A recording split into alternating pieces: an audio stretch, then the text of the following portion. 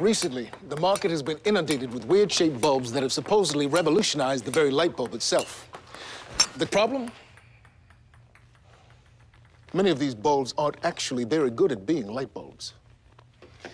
The Cree LED bulb, on the other hand,